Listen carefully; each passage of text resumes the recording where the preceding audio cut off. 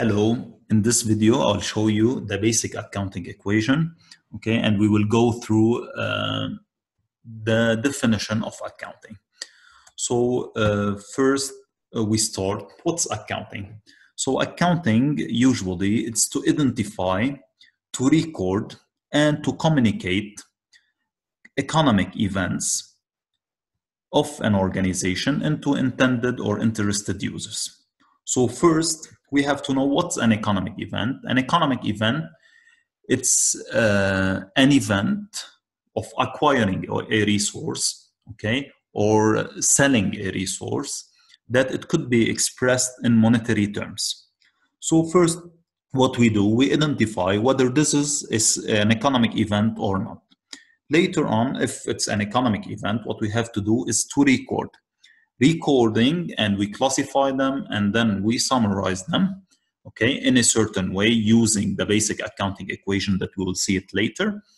When we do this, and after that we're having all the data ready, what we can do, we can communicate. How we will communicate using the uh, different uh, financial statements that also we will see later, like the profit and loss statement, the balance sheet, the owner's equity statement, and the cash uh, flow statement.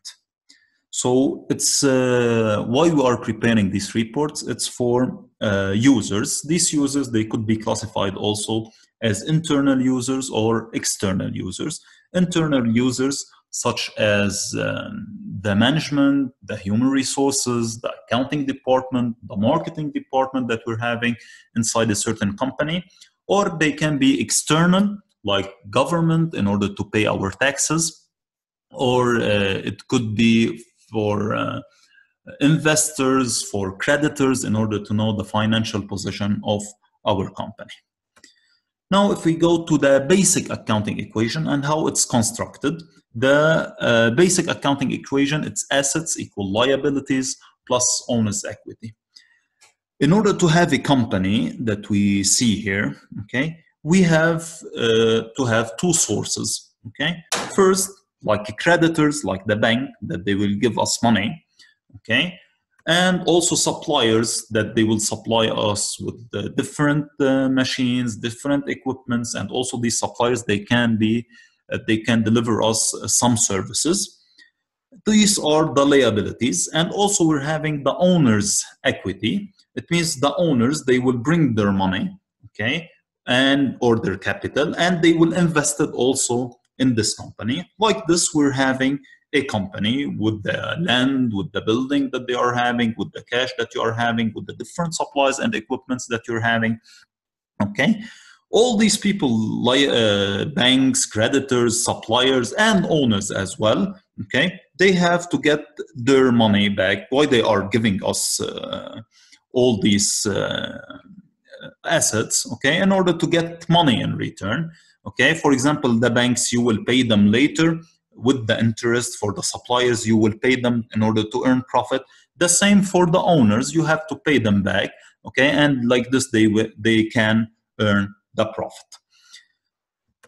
So this is the basic accounting equation. It's assets equal liabilities plus owners equity. If we can take a look also on the expanded equation assets equal liabilities plus owners capital minus owner's drawings because we have also to separate the owners from the company itself. The, the company is different than its owners. So this is why if he invests, it means he, he's having rights of ownership in this company. And if he takes something for his personal use, it means his ownership will decrease.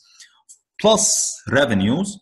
Why? Because this company finally is working for its owners. So plus revenues and minus expenses in case this company is having losses it means the uh, losses uh, will be deducted from the owner's capital so like this briefly we covered what's accounting and we covered the basic accounting equation in the next videos we will have an application on uh, the basic accounting equation and the different transactions that we might have and like this you will be able to understand better the concept Thank you for watching. And if you're having any question, please write it down in the comments.